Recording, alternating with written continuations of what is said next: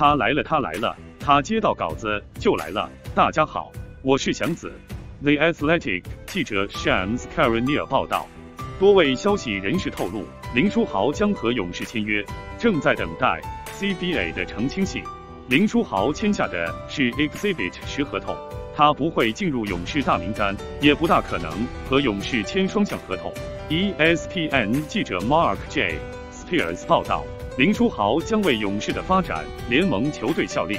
勇士跟队记者 Wes Goldberg 透露，可以确认林书豪签约后将被裁员，然后加入勇士的发展联盟球队圣克鲁兹勇士。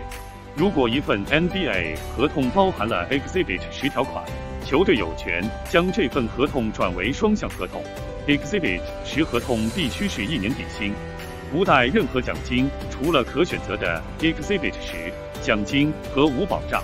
Exhibit 十奖金是指球员被裁后签约发展联盟附属球队，并待上六十天，可获得五千至五万美元。